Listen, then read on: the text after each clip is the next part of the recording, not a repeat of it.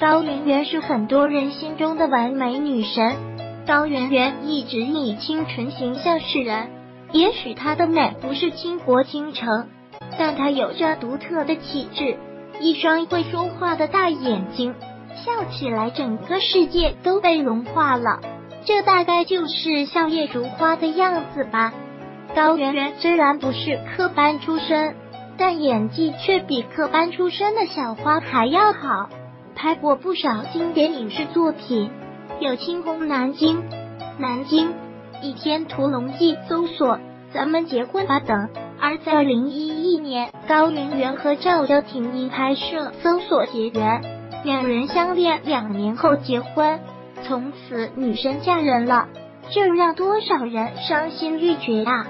高圆圆依然嫁给了赵又廷，两人过着和谐美满的日子。不过，应该还有人记得他和音乐才子张亚东也有过一段情缘。张亚东是音乐制作人，还被誉为王菲专题歌的御用制作人，可见他是一个才子。而才子多情，据说他对高圆圆一见钟情。那时张亚东已为人夫，但还是对高圆圆展开了猛烈的追求。后来高圆圆也被他打动了，但也被戴上了小三的帽子。而张亚东和妻子都已离婚了。二零零五年，高圆圆在采访中承认和张亚东的关系，还自曝两人已经恋爱五年了，并称想和对方结婚生子。然而短短两个月后，张亚东与徐静蕾好上了。也意味着张亚东和高圆圆的恋情走到了终点。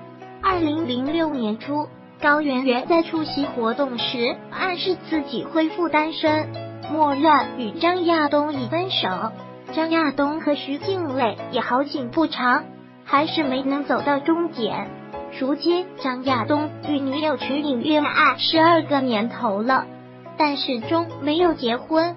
现在已经四十九岁的张亚东，最终抵不过岁月的洗礼，比从前沧桑了许多。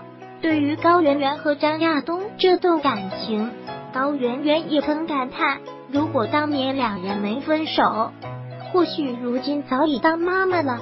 而如今高圆圆和赵又廷虽然结婚多年，依旧很恩爱，但唯一遗憾的就是没有孩子。希望高圆圆能赶紧生个宝宝。